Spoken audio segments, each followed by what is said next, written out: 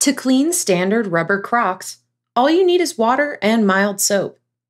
Rinse your Crocs under running water to remove any loose dirt. For a deeper clean, fill a basin or bucket with warm water and add a couple of squirts of mild hand or dish soap. Soak the Crocs in the soapy water and gently scrub them with a brush or rag. To get into the vent holes in your shoes or any other hard to reach areas, use an old toothbrush. If there are any particularly stubborn spots or stains, try gently scrubbing them with a magic eraser.